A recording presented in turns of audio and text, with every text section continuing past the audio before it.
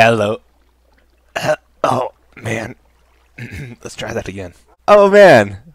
This is unbelievable. I have a sign in my inventory. What, what a coincidence. You know what we should do? We should take this sign and write something on it. Yes, that sounds like a fantastic idea. Let's, uh, let's write something that will make us smile. How about, uh, go get... No, no, no, not that. No.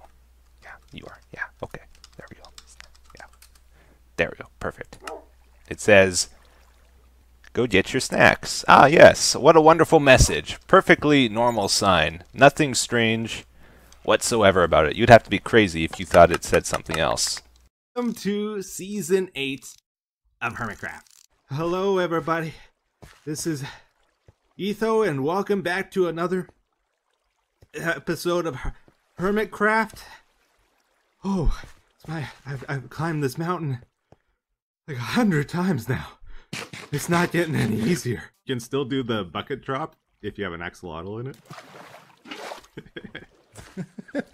Yeah, but it's pain for the axolotl. You, you just, it's like a, a cushion when you land, you know? Proud of you. That was all of it. No, I saw you switch. I saw you switch. I saw you switch. There we go. Get it out. There we go. Proud of you. That's all of it now. Definitely none left. Ethan, I saw you pick that one up. You jumped down to pick it It's up. calcite.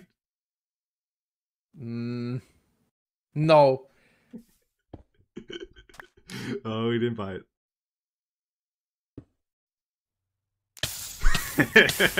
So there's one time, I was like watching some Canadian hockey on television, and I noticed the fire in my wood stove was about to go out, and my my log cabin was about to get very cold if I let that happen. So I had to go out and get some more firewood.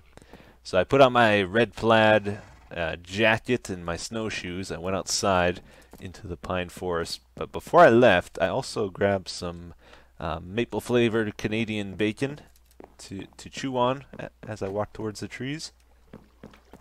And while I was watching to find a nice tree to chop down, a grizzly bear jumped out of the bushes and started to attack me to get my, my Canadian bacon.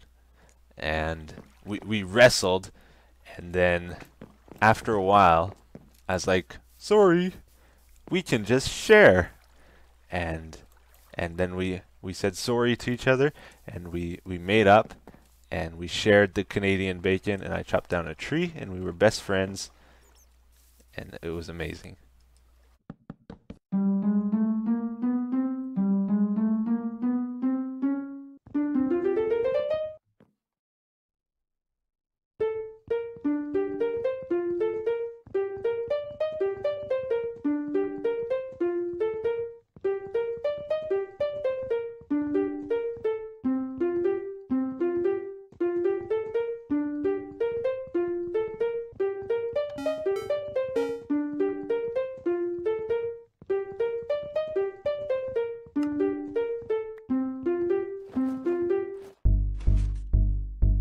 I'm blue, dabba dee ba da doo. I pressed the button and now I am blue. Um, hey. Welcome to Hermitcraft. We're playing in the nether today. None of us have started out in the nether before. We want to see how tough it is. Oh, I shook his head. No, that that's means he's agreeing with me. Uh, we want to see how tough it is to get from the nether to the overworld. So that I've got us some more diamonds. Uh, yeah. Well, Yes. had. Ah, okay. But you benefited from the new diamonds. Yes, of course. They they were wonderful. Okay. Don't give someone a fish, you give them a fishing rod. Exactly. You don't give them a potato, you give them a poisonous potato. So that they die and you get all their food. Limited stock. Shulker boxes, four diamonds each. Oh, okay. Calm down. Calm down. We'll, we'll, we'll take one. We'll take one. No, or we gotta get at least two. Ah, we gotta we gotta save some for the other people on the server, though. You know, probably every, everybody wants shulker boxes. Oh, but now that one's floating, I should get one as well. Uh, I don't want to hog them all, though. You know, other people need shulker boxes for sure. Okay, so this might make me look a little bit bad, but hear me out. Wait a second. Don't judge me just yet.